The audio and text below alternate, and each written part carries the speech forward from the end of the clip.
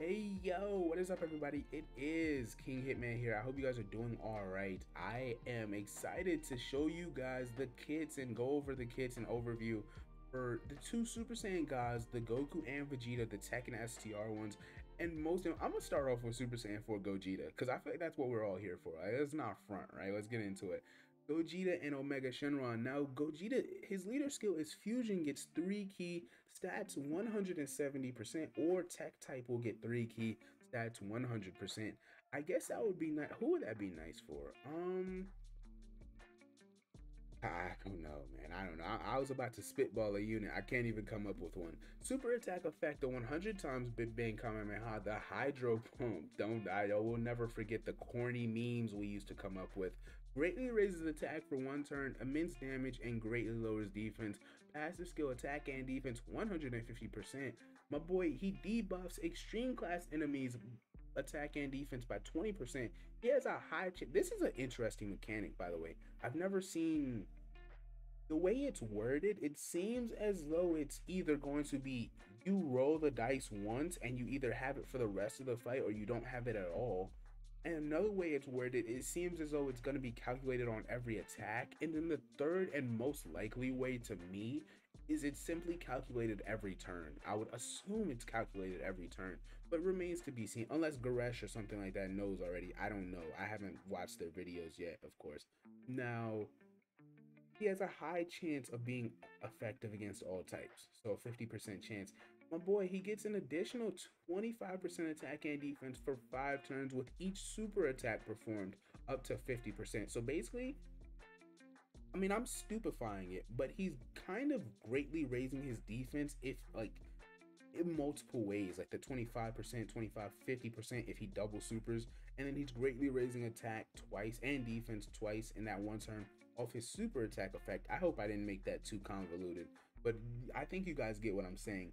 Yeah, so that's an interesting mechanic. It's it's an additional super attack buff. Now, is it cal- it's not calculated. I guess it's not I guess it's not like a uh, huh how is that? How is it factored? Like how is it combined? That's weird. Like we've never seen a mechanic like that upon super attack in the middle of their passive the way it's built for a turn limit? That's interesting. So i gotta see how it's it's calculated the math on it. I want to know if it's a flat 50% buff or is it calculated into the rest of his passive Gogeta also has a. This is what makes him elite, and which this is why a lot of people are going to put into Super Saiyan 4 Gogeta away, which sucks to see, man. I love that guy, but Tech Gogeta, there will never be a, a like the feeling I got when I pulled Super Saiyan 4 Gogeta on Global, even though he had no leader skill, bruh. It was like it it can't be replicated. Like obviously I wasn't making videos back when he in 2017, but just the progress he's made, I'm so happy for him, man. I I love this to see him come full circle easy. A he looks like he's elite. I don't really see any issues with him. I just hate greatly lowering defense, right? I don't want to spend too much time on him, but he does have his great chance to counter super attacks. Yeah, you guys know what it is. He's on so many categories. If you look at his categories a year ago, like go on global right now, literally go on your global account. These four categories don't even exist yet, right? And then a year ago, Time Limit didn't exist. GT Heroes didn't exist. Like that's crazy, man. So I'm happy for him. Now Omega Shenron, Shadow Dragons 3 kis 170 or physical 3 ki 100. He raises defense on each super attack, immense damage, and greatly lowers defense. He always had that stupid lowering defense. I hate it with all of my heart. He gets attack and defense 150%. All enemies get debuffed by 20%. That's an item, bro don't don't fool yourself. Like back when I used to really struggle with the game, like back when the game like difficulty was difficulty in a certain way. It's hard to explain, but back when difficulty was different, this was really important, right? Especially because he did it to everybody. He didn't care about who you were.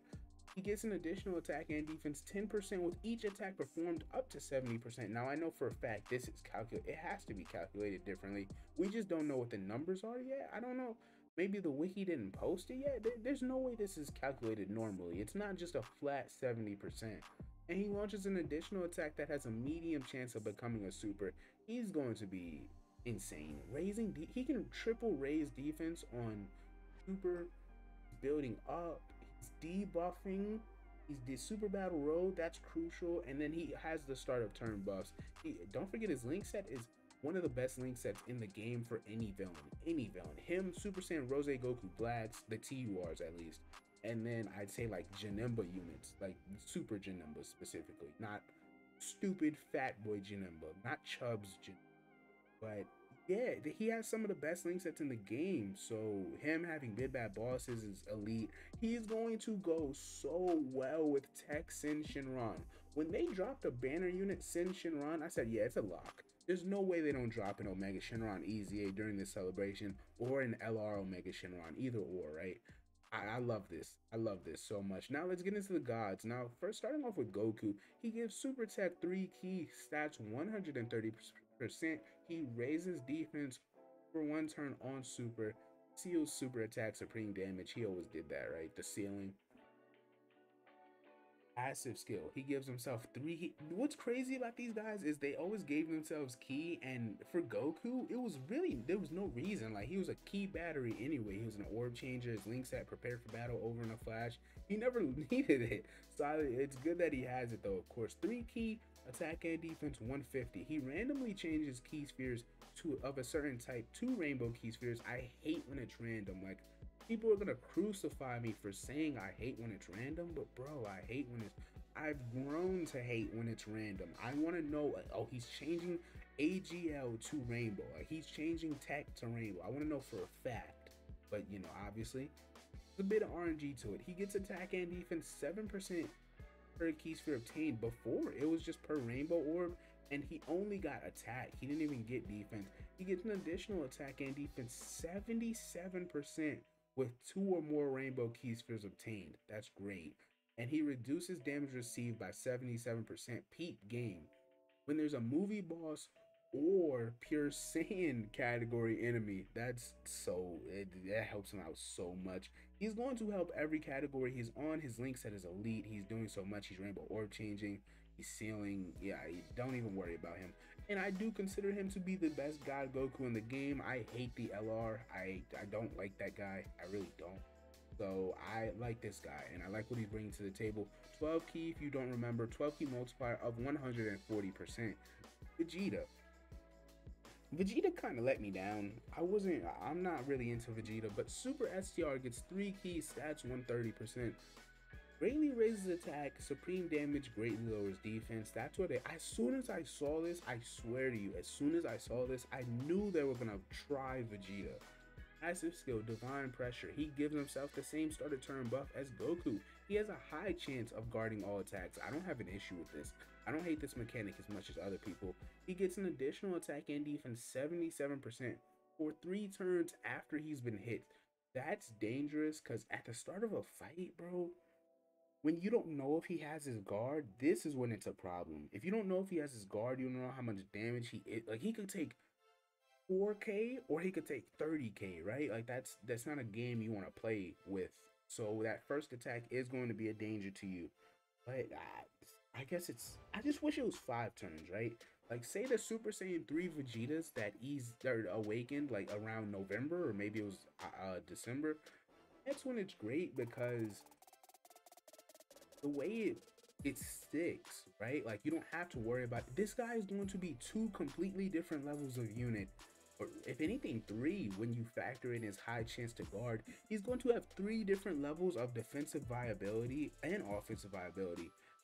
One where nothing's active, he doesn't have his guard, and he hasn't been hit yet one where he does have his buff, but he doesn't have his guard, and then one where he has both, and that's when he's going to look elite.